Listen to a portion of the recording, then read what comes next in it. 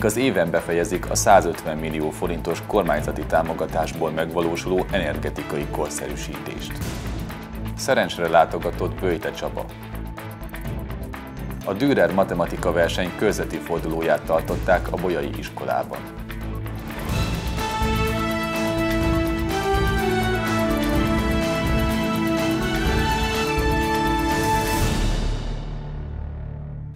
Köszöntöm nézőinket! Önök a Szerencsi Városi Televízió híradóját látják.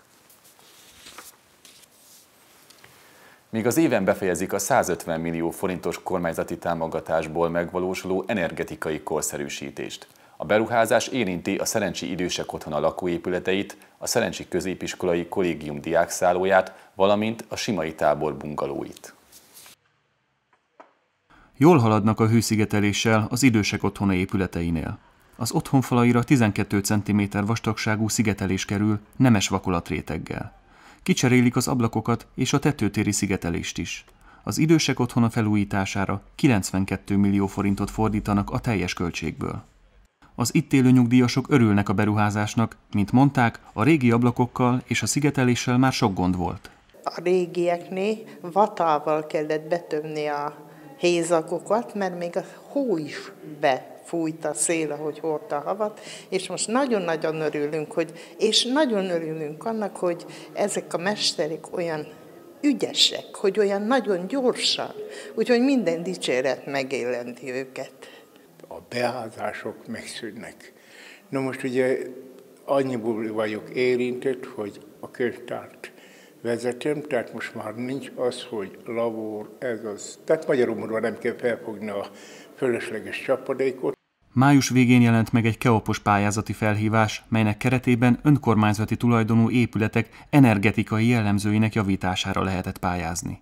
A sikeres pályázat után a kivitelezést a Miskolci székhelyű Jánosik és Társai Kft. végzi, amely október közepén kezdett el dolgozni az idősek otthona homlokzatain.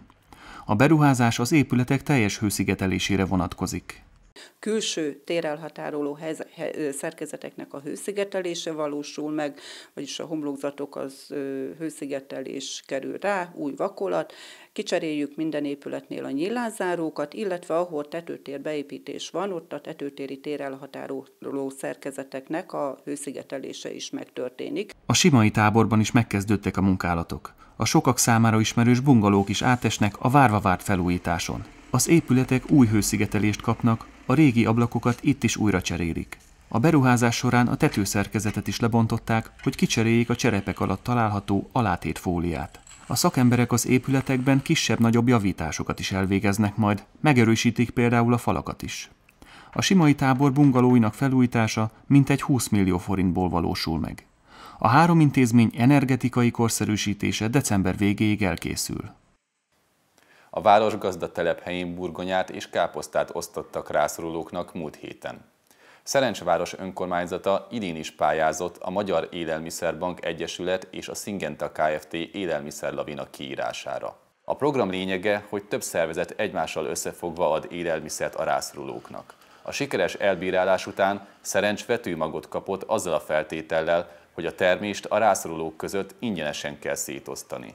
A program során támogatottak lehetnek gyermekek, nagycsaládosok vagy idősek, akik anyagilag nehéz helyzetben élnek.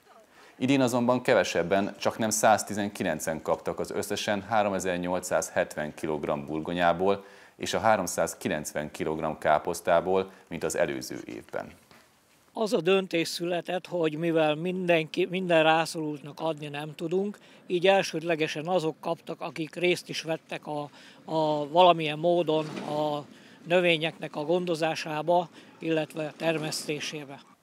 A szociális munkanapján a hátrányos helyzetű sérült gyermekekért, kirekesztettekért vagy segítségre szorulókért dolgozó szakembereknek mondunk köszönetet. 1997 óta minden év november 12-én őket ünneplik szerte a világon, így hazánkban is. Közülük a legkiemelkedőbbeket díjazták múlt héten a színházteremben. A Hajnali Néptánc Együttes és a Rákóczi Iskola diákjai mutatták be műsorukat délelőtt a színházteremben, ahol a Szociális Munkanapja alkalmából tartottak ünnepséget. Az eseményen 8 a területen dolgozó szakember vehetett át kitüntetést, kiemelkedő szakmai munkásságukért. Molnár József már több mint 23 éve dolgozik a Szerencsi Idősek Otthonában, mint ápoló és betegszállító. Nagyon szereti a munkáját, szeret az embereknek segíteni. Hát ez nagyon nagy megtiszteltetés. Sokan megérdemelték volna a idősek otthonából, nem csak én. A Szociális és Gyermekvédelmi Főigazgatóság megyei kirendeltsége elismerő oklevélben részesítette kiemelkedő szakmai tevékenységéért Kontra Lászlót, a Szerencsi Idősek Otthona vezetőjét.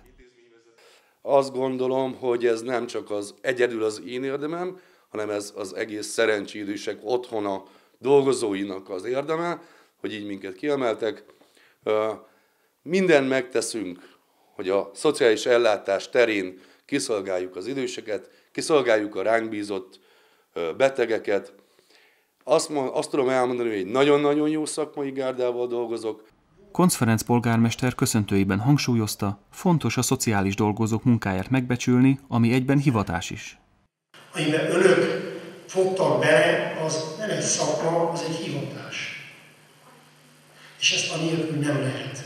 Ezt csak csupán pénzért nem lehet elvégezni, ehhez kell egyfajta lelkialkat, egyfajta derű, és egy olyan hozzáállás, amely azt is boldogabbá teszi, aki ebben a gondoskodásban részesül, és annak is örömet okoz, aki ezt a gondoskodást biztosítja. Szerencsen két idősek otthona, egy gondozási intézmény és a kistérségi támogató szolgálat gondoskodik a rászorulókról. Szerencsre látogatott Böjte Csaba. A Ferences rendi szerzetes azért érkezett, hogy lelki vigasztalást nyújtson a gyermekeknek és időseknek egyaránt. Böjte Csaba 13 éve alapította az Erdélyben található Szent Ferenc Gyermekmentő Alapítványt, aminek célja a gyermekek érdekeinek képviselete, szellemi és szociális fejlődésük elősegítése. Csaba testvér az iskolákban és a Rákóczi Várszínház termében tartott előadást. Az atya délelőtt először az általános iskolákba látogatott. Csaba testvér a diákokhoz gyermeknyelven szólt. Figyelmüket arra hívta fel, hogy embertársainkat tiszta szívből kell szeretni, és a jó cselekedeteknek nincsenek határaik. Ahogy fogalmazott, kudarcok esetén nem szabad feladni, mosolyogni kell azokon, és tudni kell újra kezdeni. Böjte Csaba délben már a színházteremben tartott előadást. Csodálatos, amúgy is én keresztény vagyok, és én tévében mindenhol nézem Böjte Csabát, bármit. Hát ez, ha az ember nem is tudja, hogy milyen lélekkel megy haza. Ez csodálatos dolog. Biztos, amit ő megél, mert már én arra is jártunk, láttuk, úgyhogy ez, ez nagyon felemelő. Magamat is beleértve az egész hallgatóságot lenyűgözte.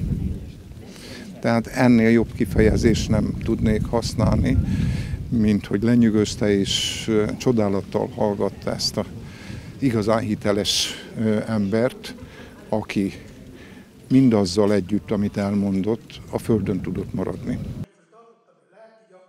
Az Atya napjaink globális problémáiról beszélt, a szegénységről, az egyre több abortuszról és a közelkeleti háborúkról. A szerzetes szerint az embereknek nyitniuk kellene a nagyvilág felé. Minden a világ, a népünk, minden problémájára van orvosság. És ez az orvosság nem keserű. Ez az orvosság, hogy mondja, nem csipi a szemünket. Ez az orvosság valóban válasz a problémáinkra. Merjünk az élet mellett dönteni, merjünk a szeretet útján járni, merjünk családot alapítani, gyermeket vállalni, unokát vállalni, merjünk az élet mellett dönteni. Böjte Csaba teljes beszédét magazinműsorunk után, illetve a Szerencsi Városi Televízió Facebook oldalán tekinthetik meg. A Bolyai iskolában is ünnepelték a magyar nyelvnapját múlt héten pénteken. November 13-át az országgyűlés 2011-ben nyilvánította a magyar nyelv napjává. Ezzel lehetővé téve, hogy évente egyszer a közfigyelem ráirányuljon a magyar nyelvre, amely kulturális örökségünk és nemzeti identitásunk alapja. Az iskolában Lakatos Marianna, magyar történelem szakos tanár, a felső tagozatos tanulókkal közösen tartott előadást az alsó tagozatosoknak. Az előadáson elhangzott, hogy 1844. november 13-án a Reformországgyűlés sorozatos bukása után egy nagy eredmény született Magyarországon. Az országgyűlés kimondta azt a törvényt, amely a magyar nyelvet hivatalossá tette az egész ország területén. Minden törvényt magyar nyelven alkotnak, az országgyűlés nyelve a magyar lesz, és minden iskolában magyar nyelven történik a tanítás. Azt kell valahogy megértetnünk és megtanítani a gyerekeknek, hogy nemzeti örökségünk a magyar nyelv, és hogy az összetartozásunknak a legfontosabb kapcsa, és hogy a nagyok kaptak ebben leginkább feladatot, a kicsiknek elmondani, elmesélni. Széchenyi István, Benedekelek, Ónagy Gábor és jeleseink tevékenységét, és azt hiszem, hogy célt ért, és a figyelő tekintetekből látszott, hogy igenis kell ez a nap, kell ez a november 13, hogy felhívjuk a figyelmet a magyar nyelvre. A Dürer matematika verseny körzeti fordulóját tartották a Bolyai iskolában múlt héten pénteken. A versenyen három intézményből, a Bolyai, a Bocskai és a Rákóczi iskolákból 16 csapat, összesen 48 diák vett részt. A Dürer matematika verseny egy új típusú verseny, ugyanis a gyerekeknek nem önállóan, hanem csapatot alkotva közösen kell megoldaniuk a kapott feladatokat. A verseny célja a matematika és a természettudományok népszerűsítése a diákok körében. Három fős csapatokat alkotva kellett megoldaniuk a diákoknak a kapott feladatokat. Az 5.-8. évfolyamos tanulók a körzőn és a vonalzón kívül nem használhattak más segédeszközt. A verseny elején a csapatok csak az első feladatot kapták meg. Helyes eredmény esetén újabb, de nehezebb feladatlapot kaptak. Ha az eredmény hibás volt, akkor újra próbálkozhattak, viszont minden rossz megoldás esetén pontlevonás járt. A tanulóknak 90 perc állt a rendelkezésükre, hogy az egyre erősödő 15 feladattal megbirkózzanak. A feladatlapokat úgy állították össze, hogy a matematika minden területét érintse. Tartom az oszthatósági szabályokat, összeadást, kivonást, osztást, szorzást, de van amelyik könnyű, van amelyik egy kicsit nehezebb. Az iskola harmadik éve adott otthont a megmérettetésnek. Idén is a Budapesti Műszaki és Gazdaságtudományi Egyetem hallgatói szervezték a versenyt. A szervezők azt tapasztalják, hogy az ilyen és ehhez hasonló versenyek népszerűek a gyerekek körében. A miénk eléggé innovatív. Ö, ugye mi nem arra fektetjük a hangsúlyt, hogy bejönnek, megírjanak egy száraz matek versenyt, és aztán hazamenjenek, hanem mi azt szeretnénk elérni, hogy itt maradjanak, beszélgessenek, ismerkedjenek. Itt mondjuk nagy részt ismerik egymást a diákok, de a döntőn ott ugye sokan sokfelől jöttek, és ez, ez teljesen jó, hogy, hogy meg tudják így egymást ismerni, és, és ezt, ezt mi fontosnak gondoljuk, hogy élvezzék azt, amit csinálnak. Ne feltétlenül csak a matekot, hanem a közösséget, ami emiatt körülveszi őket. A Dürer matematika verseny segít a diákoknak a kreativitásuk és a probléma megoldó képességeik fejlesztésében. A feladatsorok megoldásai és a helyi fordulók eredményei a www.dürerinfo.hu weboldalon megtekinthetők. A február 5-én tartandó 9. Dürer döntőn két bolyai csapat vesz majd részt. Két mázsa halat telepítettek a homokos tóba múlt héten pénteken. A Horgászok Egyesületének közössége egy nyaras és két nyaras pikkelyes pontyokat engedett a tóba. A halakat a horgásztagok által befizetett 1000 forintos tagdíjból finanszírozták. Legutóbb november 4-én juttattak három mázsa pontyot a homokosba. A horgászok szerint a pontyokat jövőre már ki lehet fogni. Most azonban még nem, ugyanis a méretkorlátozás előírja, hogy a 30 cm alatti pontyokat vissza kell engedni.